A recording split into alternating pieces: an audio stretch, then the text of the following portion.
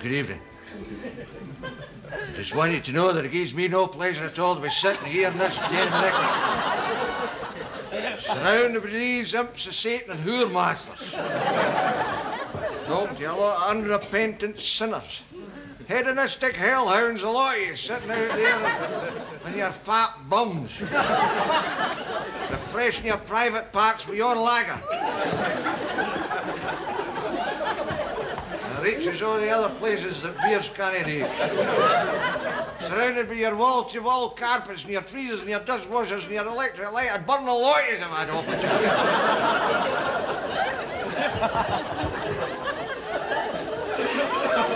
you. Look at yourselves. Ogling this hellish box, this infernal invention of Satan, gloating over the corruption of Coronation Street the carnality of Crossroads. And what about that children's program? Blue Peter. That's you I'm talking. I saw you taking another swig of that stuff. Put it down. And don't you dare leave the room and make tea while I'm on. You're all for hell and damnation, the lot except maybe those that kept their eyes shut till I come on. Believe me, I'm, I'm dumbfounded at the wickedness which pervades our society, even in where I live, Ardnashach.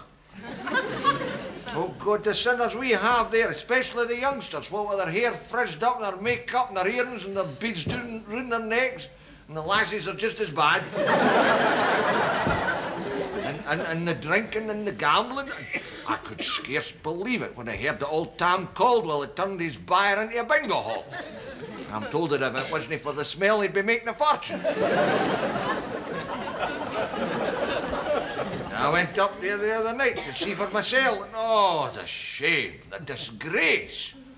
I won the snowball the wickedness in Ardnashach you just wouldn't believe. Fornicating. Fornicating. At least two or three times a year. Wife swapping. Wife swapping, I'm telling you. I'm told Jimmy Anderson got a second-hand bike for his last week. Mind you, I can see how a good man can so easily be deflected from the path of righteousness by the temptations of the flesh. Take old Sandy McCulloch. He was our bell puller. If either bell, you never heard pulled. A good man who lived a solitary bachelor's life like myself. Worked in the fields all day, come home and made himself some stewed rhubarb for his supper. Went to his bed and he was up at the crack of five in the morning.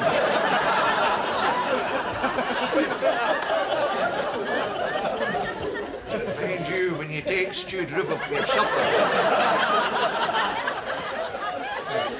pretty well got to be up at five. Every Saturday he would buy himself a quarter of mint imperials, and though he was passionately fond of mint imperials, he wouldn't touch a single one till he pulled his bells. he was settled in his pew in the kirk.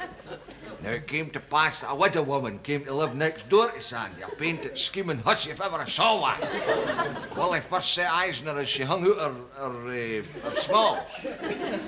Smalls. and one Monday that was. Oh, he was he was struck by her appearance, her blonde hair, painted fingernails, and great big clothes poles.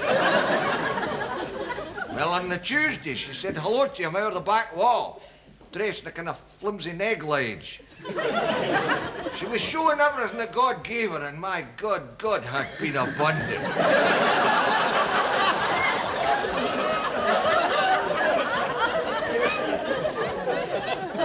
Wednesday, on Wednesday, she came to his door to borrow a cup of sugar. Didn't have a grain in the place, she said, no sugar.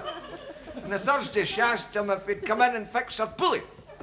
But it was her that got up the ladder, and Sandy had to hold it for her. Well, when he looked up, what do you think he saw? You're right, a two-pound packet of sugar.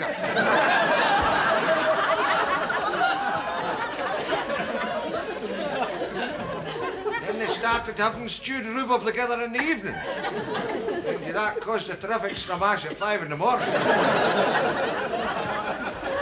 Only got the wine between them and it's outside. and the Friday she asked him in for supper. She laid on his favourite dinner, smokies washed down with sparkling Lucozade. well, I went straight to Sandy's seat and then the scheming Jessie asked him if he'd let him mint imperial and led him into the bedroom where she kept him in a beautiful hand-carved ivory box on her bedside. I lay down in the bed and she kissed him. Such a kiss it was. Sandy was absolutely speechless. Both his dentures had come out. well, she was wearing one of these dresses that fastened with a single brooch and a shoulder. Sandy, now out of his mind with passion and desire, he took her in his arms. His left arm went round and his hand straight to the clasp. And before she knew what he was doing, he was away with half an imperial.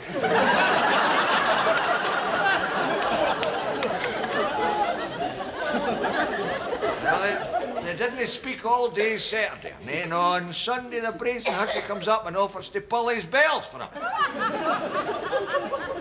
You take it from me, it's the end when a single man lets a woman near his bells. and that was his downfall. They got themselves married in Glasgow, for I wouldn't touch them.